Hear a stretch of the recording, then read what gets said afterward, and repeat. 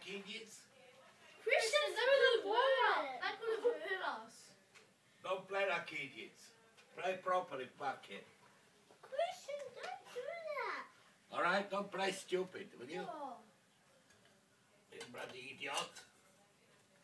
Give me those. Play properly, don't play silly.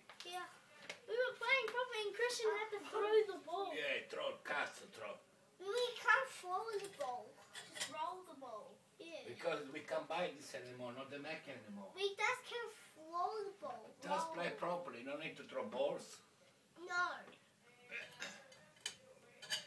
These things here we can't buy anymore. If they break this, we have to throw everything away. Oh. You know? No, no, you Just play properly. Yeah. Christian, don't throw